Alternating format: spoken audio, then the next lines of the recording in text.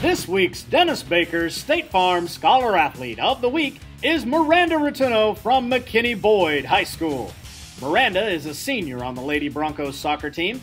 In 2017, she was selected for the 6-6A second team All District, as well as honorable mention last year.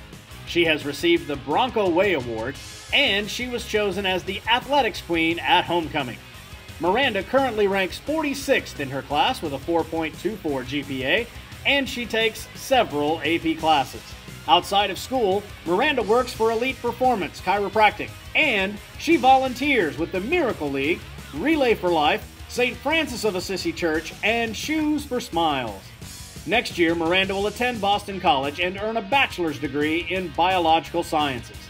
That's Miranda Rotunno from McKinney Boyd High School, our Dennis Baker State Farm Scholar Athlete of the Week.